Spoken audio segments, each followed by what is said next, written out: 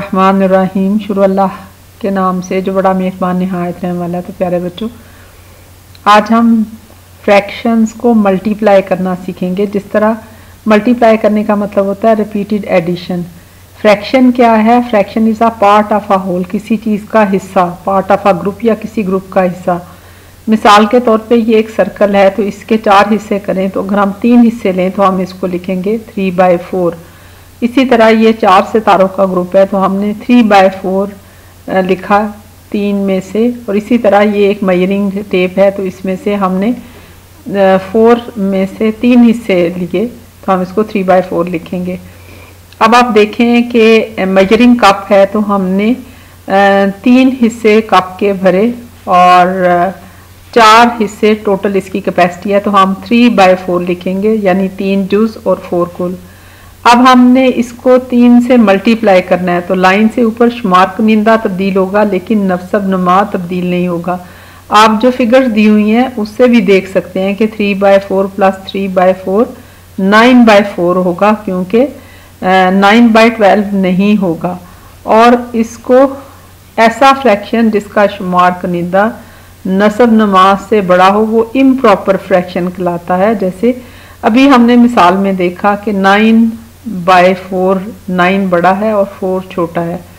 प्यारे बच्चों, अपनी ज़िंदगी को सुलझाने की बजाय पूरी ज़िंदगी को अपनी ज़िंदगी में एक एक करके अच्छी आदत जमा करते जाएँ और फिर एक वक्त ऐसा आएगा कि आपकी अच्छाइयाँ ज़्यादा हो जाएँगी।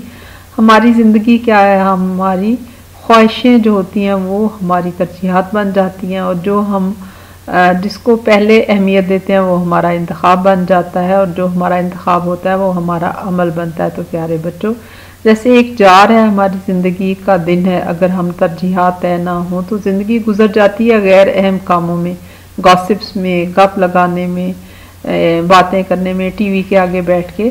तो अगर आप अहम काम ज़िंदगी में पहले कर लें तो जो रेत और छोटे मोटे गैर अहम काम है, वो खुद ब खुद हो जाते हैं तो अहम काम पहले करने की आदत डालें।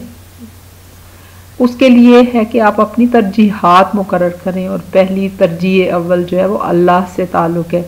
उसके लिए कुरान तर्जमे के साथ पढ़ें, अल्लाह का ज़िक्र करें, नबी करीम वसल्लम की सीरत का मुताल करें।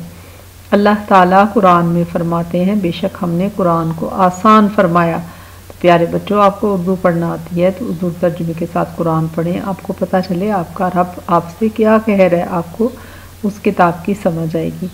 तो अब हम नेक्स्ट एग्ज़ाम्पल की तरफ़ चलते हैं। नेक्स्ट एग्ज़ाम्पल है multiply two by three into four यानी आपने टू बाई थ्री को फोर टाइम्स ऐड करना है एडिशन करनी है।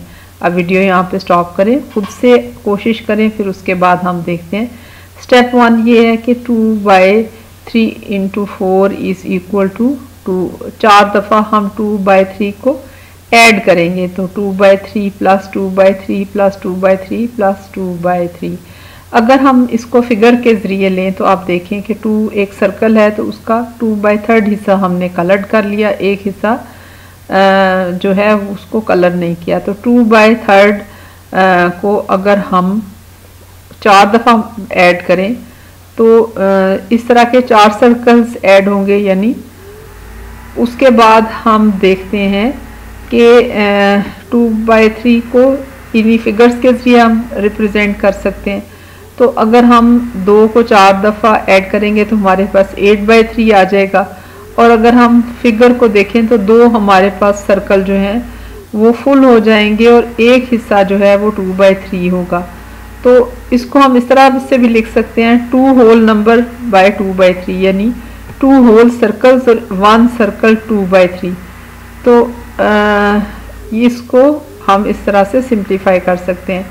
अब आप match each bowl with the correct spoon ये जो प्याले हैं उनके ऊपर मल्टीप्लिकेशन लिखी हुई है नीचे चम्मच पे आंसर लिखा हुआ है तो आप वीडियो यहाँ पे रोकें।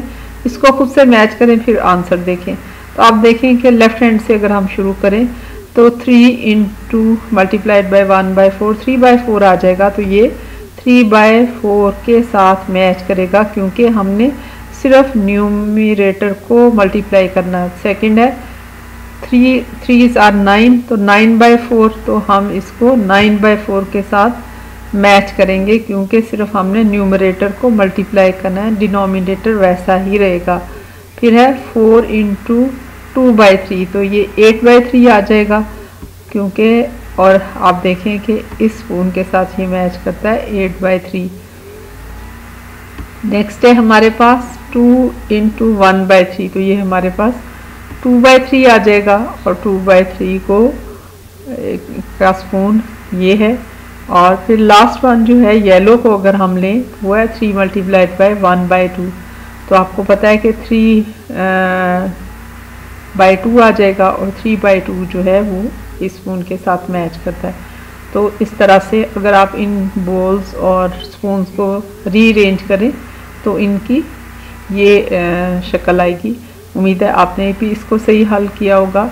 तो लामा इकबाल का शेर है, अपने मन में डूब कर पा जा सरावे ज़िंदगी। तो अगर मेरा नहीं बनता, ना बन, अपना तो बन तो प्यारे बच्चों, इस चैनल को सब्सक्राइब करें, इस वीडियो को लाइक और शेयर करें।